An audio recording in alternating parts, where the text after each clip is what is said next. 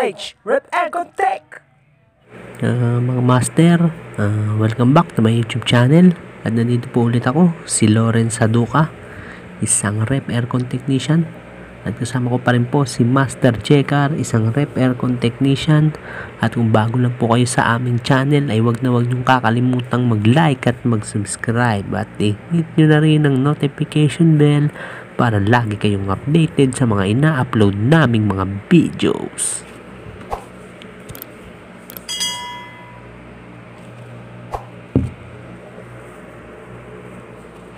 Ah, mga master, ang i-cleaning po nating aircon na split type ay sharp na 1.5 horsepower po mga master.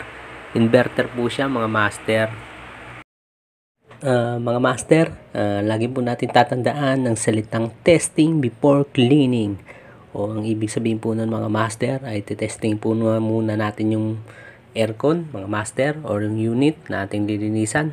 Kung lumalamig po siya mga master, or gumagana po lahat ng mga parts mga master. Nang sa ganun hindi po tayo magka-problema pag cleaning na yan mga master.